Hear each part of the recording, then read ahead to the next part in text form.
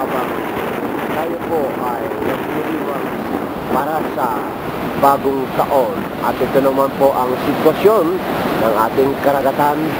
Napakagandang linggo, unang araw ng buwan ng Enero and the first day of the year 2012 and we do hope that 2012 shall be a better year than that of the past year 2011. So once again, we are here to welcome a very beautiful Sunday morning, the first day of the month of January year 2012 and it's New Year's time right here at Ballesteros, Cagayan.